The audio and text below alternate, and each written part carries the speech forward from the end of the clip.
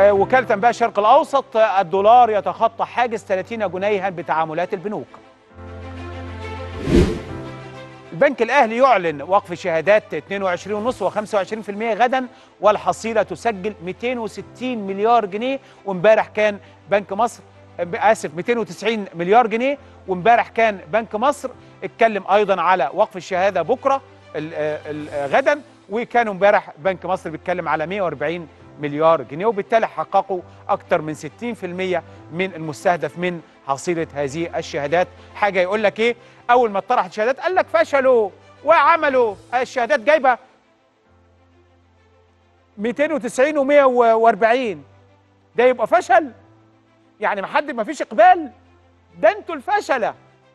ده اللي قال كده هو الفاشل. لما طرحت الشهادات قال لك شفتوا ما حدش بيروح ما حدش بيروح عشان دلوقتي في في اونلاين في تليفون النهارده في في آه، تطبيقات النهارده الناس بتدخل عليها بتعمل حساباتها كلها. هو أنتوا التكنولوجيا دي مش موجودة عندكم؟ فبقت عملت تخفيف على البنوك ده أكتر من 60 70% من التعاملات في بنك مصر والبنك الأهلي كانت عبر التطبيقات الإلكترونية. ما هو ده فايدة التكنولوجيا مع الناس النهارده. ده بنك الأهلي النهارده بيقول لك 75 ألف عميل دخلوا جداد جداد من ساعة إعلان ال- الشهادة لحد النهارده. 75 ألف. ما كانوش قبل كده عملاء عندهم ما كانش ليهم آه، أي حسابات أو ودائع عندهم. بقى النهارده عملاء جدد انضموا للبنك الأهلي. تفتكر ده نجاح؟ يعني لما البنك الأهلي يحقق 290 مليار وبنك مصر يحقق 140 مليار امبارح هو ده نجاح ولا مش نجاح؟ طب إيه إيه النجاح عندكم يا تنظيم إخواني إرهابي؟ تفتكروا يعني اللي أنتوا الأول ما حدش راح ما حدش اشترى. لا الناس راحت واشترت والناس ده الشراء ال- الأرقام اللي قدامكم ديت ثقة ثقة من الشعب لمؤسساته المصرفية. دي ثقة كبيرة. لو ما عندهمش ثقة ما حدش كان اشترى فعلا. بس لا دي ثقه شهادة ثقة. عايز أقول لكم الأرقام اللي قدامكم 290 مليار البنك الأهلي 140 مليار بنك مصر شهادة ثقة كبيرة من الشعب المصري. آه في عائد كبير. نعم عائد ضخم. نعم. عائد ضخم طبعا ما بقولكش لأ 25% عائد كبير في سنة. مفيش حاجة هتجيب العائد ده يعني اللي بيحط له مبلغ كذا ولا بياخد عائد بسم الله ما شاء الله يعني أو 22 ونص. ولكن عايز أقول لكم في بنوك تانية أخرى بدأت كمان بنك الأهلي وبنك مصر يخلصوا بكرة بنوك تانية طرحة شهادات كمان تانية بنوك خاصة شغالة. وبالتالي إنه المساله مستمرة.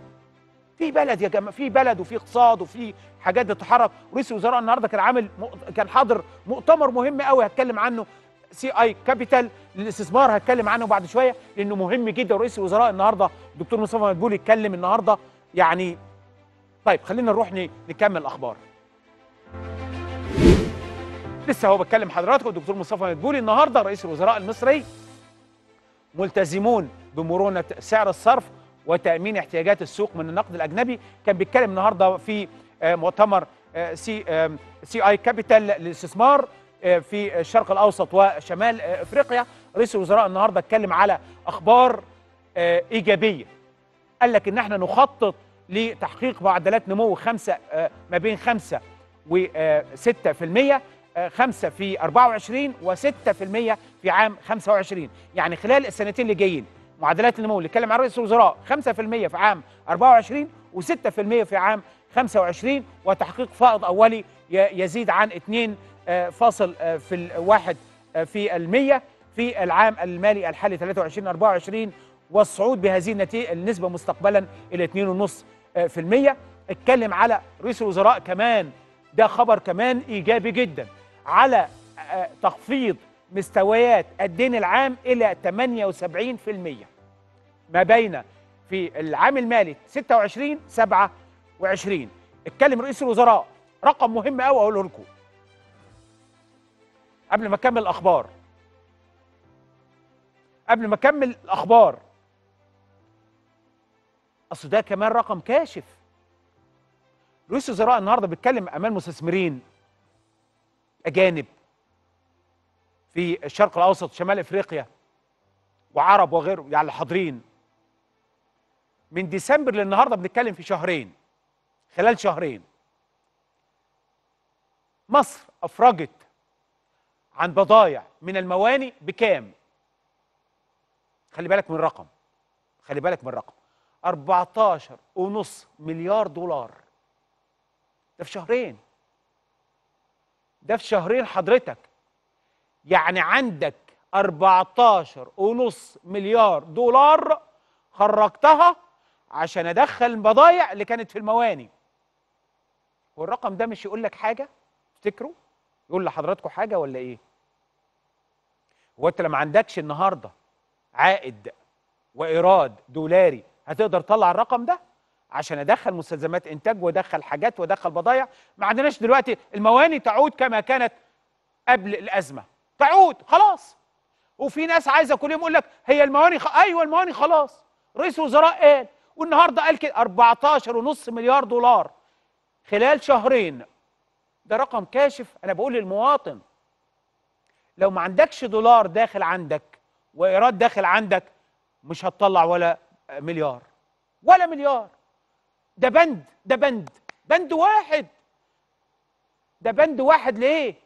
للإفراجات البضائع التي كانت موجودة داخل المواني المصرية. اللي كانت تقريبا من مارس وإحنا جايين. خرجتها في خلال شهرين. مقابل انك ما هي دي فلوس أهو ده رقم 14.5 مليار دولار. ده بيقول لك إيه؟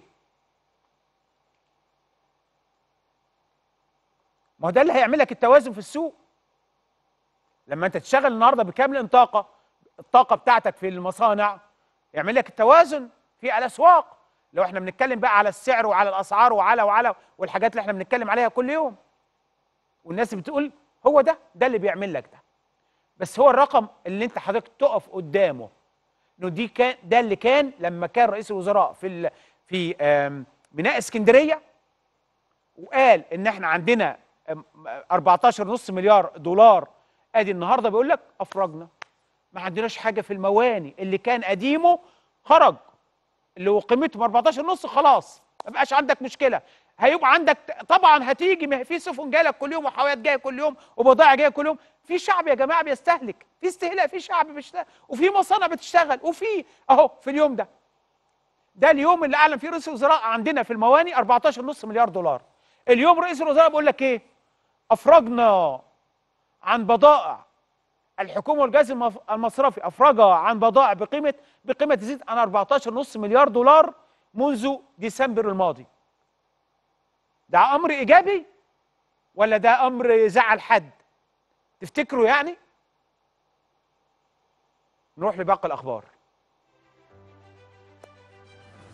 ده آه، تصريحات رئيس الوزراء. ثلاث أعوام على جائحة كورونا منظمه الصحة العالمية ومدير منظمه الصحة العالمية آه، تيادروس النهارده بي- بيعلنوا تقرير الصحة العالمية تبقي حالة الطوارئ القصوى بالنسبة لكورونا. قالوا لا الإجراءات زي ما هي وكله زي ما هو ولسه مش هنقدر نقول إنه كورونا اختفت ما اختفتش. في 6 مليون واحد ماتوا 6 مليون حالة وفاة منذ 2019 لحد آه، آه، يوم 27 يناير لحد أول امبارح. 6 مليون. وفي 725 مليون إصابة على مستوى العالم لحد يوم 27 يناير. شوفوا الأرقام. فقال لك عشان كده لازم الطوارئ تبقى موجودة في كل دول العالم. اللي جاي ده خبر آه، بنتكلم عليه تقريبا تقريبا شبه يومي آه، التحول اللي بيحصل في الولايات المتحدة الأمريكية. أزمة عالمية تلوح في الأفق ربنا يستر. ليه؟ حالة تخلف أمريكا عن سداد ديونها. أمريكا عليها ديون 31 تريليون دولار. وهناك أزمة ما بين الكونجرس اللي بيتزعمه دلوقتي ال- ال- رئيس مجلس ال- الجمهوري كيفن ماكارسي وهيلتقي الرئيس الأمريكي جو بايدن يوم الأربعاء بعد بكرة. عشان يشوفوا إزاي أمريكا تتجنب التخلف عن سداد الديون ال 31 تريليون دولار. تريليون خلي بالك دولار. وقال إنه آه، آه، الرئيس الأمريكي قال ان أنا لن آه، أساند ولن أتفاوض في هذه المسألة الخاصة بسقف الدين العام. قال أي إجراءات في هذا الأمر هستخدم حق النقد الفيتو. وهستخدم كل ما لدي من صلاحيات وإنه مش هتفاوض مع آه، مكارسي ولا هتفاوض مع الكونجرس أنا هاخد إجراءات لإنه لازم أحمي أمريكا لإنه حماية أمريكا من آه، ال- الديون ديت لإنه قد آه، زي ما قالت وزيرة الخزانة جانيت يلين قالت إنه تخلف أمريكا عن سداد الديون سيؤدي إلى أزمة عالمية كبرى. العالم لا يتمنى ولا يريد وليس في حاجة ابدا إنه العالم لأنه هيؤدي إلى مشاكل كبيرة جدا وإنه ده هيكون فيه زيادة لتكاليف الاقتراض وسيقوض مكانة الدولار لأنه هو عملة احتياطية دولية. يعني قالت ده هيؤثر على الدولار كعملة احتياطية دولية وهيؤثر على كمان هيزود تكاليف الاقتراض وهيؤدي إلى آه، مشاكل كبيرة. وقالت إنه بناخد حاليا تدابير استثنائية لخفض الديون الخاضعة للسقف المحدد وتجنب التخلف عن السداد. بنتكلم على 31 تريليون دولار وبالظبط الرقم 31 تريليون و400 مليار. ده ديون الولايات المتحدة الأمريكية أكبر دولة في العالم. أكبر دولة في العالم. أدي الديون اللي عليها وأدي المشاكل اللي ممكن تتعرض ليها أمريكا. فرنسا. بكرة في دعوات لمظاهرات حاشدة في فرنسا. مئات الآلاف بكرة دعوات وفرنسا بتدفع ب 11 ألف شرطي لمواجهة الاحتجاجات عن نظام المعاشات اللي الرئيس الفرنسي ماكرون آه، بيعمله. بكرة هتكون غدا. التظاهرات تظاهرات بكرة مئات الآلاف من الفرنسيين يخرجوا لمختلف المدن بما فيها العاصمة الفرنسية باريس وبالتالي هناك دفع بهذا العدد الهائل من الشرطة الفرنسية. أمريكا تحذر من هجمات ارهابيه محتمله في تركيا. طبعا السفاره الأمريكية في أنقرة وأيضا عدد من السفارات الأوروبية منهم فرنسا آه، كانوا أعلنوا اليومين اللي فاتوا منه ممكن يحدث يعني وبيحذروا. الرئيس عبد الفتاح السيسي النهارده خلال لقاء مع أنتوني بلينكن وزير الخارجية الأمريكي بحضور الاستاذ سامح شكري وزير آه، الخارجية. الرئيس السيسي يؤكد علاقات الشراكة الاستراتيجية الممتدة بين مصر وأمريكا. الرئيس السيسي الدور الأمريكي مهم ومؤثر لحل أزمة السد الإثيوبي. وزير الخارجية الأمريكي لابد من وجود حل نهائي لقضية السد الإثيوبي أو سد النهضة وأنا ما بقولش عليه نهضة سد إثيوبيا. شكري يتوجه إلى موسكو لبحث تعزيز العلاقات الثنائيه لأنه مهم قوي. كمان بقول لحضراتكم لسه بلينكن عندنا النهارده وزير الخارجية على طول إلى موسكو في لقاءات مباحثات ثنائيه مع وزير الخارجيه آه، الروسي آه، سيرجي لافروف. وفي مباحثات مع وزير التجارة أيضا والصناعة آه، في روسيا. وأيضا مباحثات مع مسؤول مجلس الأمن القومي الروسي. وزير الخارجيه عنده سلسلة لقاءات مهمة جدا وحضراتكم عارفين طبعا ال- اللي حصل روسيا من 10 أيام لما اعتمدوا التعامل بالجنيه المصري والجنيه المصري بالنسبة آه، يكون آه، عملة معتمدة في البنك المركزي آه، الروسي وكل يوم بيكون في تحديد لقيمة ال- الجنيه أمام آه، الروبل. الجنيه بيوازي 2.3 من عشرة روبل عملة الروسية. إعلان حرب بريطانيا تدعو إلى المواجهة المباشرة مع روسيا. مسؤول لجنة الدفاع والأمن القومي في مجلس العموم البريطاني النهارده بيقول بهذه الطريقة. قال ما إحنا كده بندي دعم وبندي أسلحة وبندي وبندي. خلاص ما هي الحرب بقت مواجهة بيننا وبين آه، روسيا. وليه ما نواجه روسيا؟ خلوا بالكم في آه، آه، تلاسن كبير ما بين روسيا وما بين بريطانيا. وهذا التلاسن وفي اتهامات ما بين البلدين. وتصعيد زي كده يعني تصعيد كبير في التصريحات ما بين مسؤولين في روسيا وبريطانيا. رئيس الاركان الروسي لوزير الدفاع البريطاني روسيا لن تتعرض للإذلال بعد اليوم. الكلام ده جاي على لسان وزير الدفاع البريطاني البي بي سي عاملين فيلم وثائقي واخدين فيه آراء مسؤولين الإنجليز منهم وزير خارجية آه، رئيس الوزراء جونسون ومنهم وزير دفاع ومنهم اللي حصل إيه في قصة ال- ال- الحرب الروسية الأوكرانية. فقال إن أنا قابلت كنت بتكلم مع آه، رئيس الأركان الروسي فقال لي التصريحات دي لن نتعرض للاذلال بعد اليوم. جونسون في الفيلم الوثائقي آه، اللي هيتذاع النهارده هو ثلاث أجزاء يتذاع النهارده وبكرة وبعده بدأوا الكشف عن بعض المعلومات فيه. جونسون للبي بي سي بوتين هددني بتدمير بريطانيا في دقيقة في دقيقة قبل حرب أوكرانيا. قال إن أنا كنت بكلمه قبل 24 فبراير وخلال المكالمة مكالمة مطولة وشرح جونسون خلال التقرير المكالمة كانت مطولة مع الرئيس آه، آه، آه، بوتين وقال إنه بوتين وأنا بقول له على إنه أوكرانيا وتنضم لحلف الناتو وقال له لأ ومش دلوقتي ومش هيحصل وفي الآخر قال له ما معناه كده جونسون بيقول إنه قال لي إن أنا ممكن أدمر بريطانيا في دقيقة واحدة. الكريملين بيرد تصريحات جونسون عن تهديد بوتين بضرب بريطانيا بصاروخ كاذبة. الكريملين بيقول هذا لم يحدث. الصين ده معركة أخرى. النهارده متحدثة باسم الخارجية الصينية كانت عاملة مؤتمر صحفي النهارده الصبح وكانت بتتكلم فيه على ال ال الجنرال الأمريكي اللي من سلاح الجو الأمريكي وكنت بتكلم عنه أول امبارح اللي هو بيتكلم على إنه هيكون في حرب ما بين الصين وما بين الولايات المتحدة الأمريكية وإنهم بيستعدوا من الآن لهذه الحرب بسبب تايوان فعملت مؤتمر صحفي النهارده مخصوص ترد على التصريحات الأمريكية وأكدت الصين أمريكا تصب الزيت على النار لتأجيج الصراع في أوكرانيا. المفوضية الأوروبية ألمانيا أكثر دول الاتحاد الأوروبي تضررا من الأزمة.